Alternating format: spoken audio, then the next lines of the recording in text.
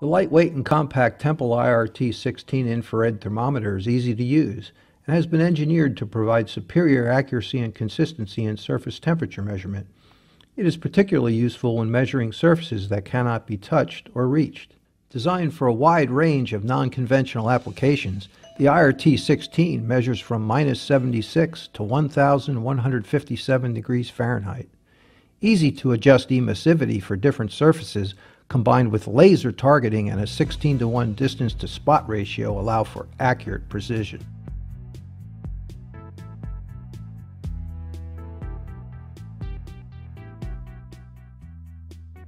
Simply use the laser to aim the thermometer at the target. Press the measurement key to display the surface temperature.